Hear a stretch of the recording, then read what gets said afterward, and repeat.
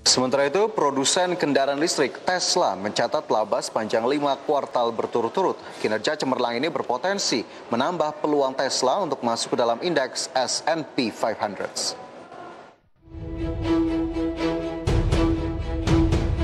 Tesla Inc. melaporkan laba sepanjang lima kuartal secara berturut-turut atau melampaui perkiraan analis. Manajemen Tesla seperti dikutip Bloomberg menyatakan saat ini operasional perusahaan masih berjalan sesuai dengan target dan tetap akan mengirimkan secara total 500 ribu unit mobil sepanjang tahun ini. Pertumbuhan laba secara beruntun ini juga dapat menambah momentum untuk masuknya Tesla ke dalam indeks S&P 500 dan menentang tren suram di antara para produsen lain yang sedang berupaya untuk mengatasi penurunan penjualan akibat pandemi.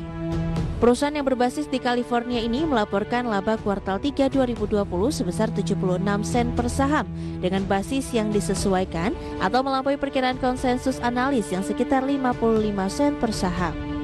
Berkat pencapaian tersebut, saham perusahaan juga ikut naik sebanyak 4,5 persen dalam perdagangan di hari Rabu kemarin, dengan harga saham ditutup di level 422,64. Saham Tesla juga tercatat mengalami kenaikan 405 persen sepanjang tahun ini.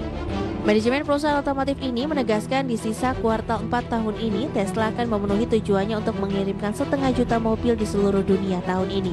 Sebelumnya pada bulan Januari atau sebelum semakin merebaknya pandemi COVID-19, Tesla memperkirakan akan dengan mudah melampaui target pengiriman 500 ribu kendaraan selama setahun penuh, meningkat 36% persen dari tahun 2019.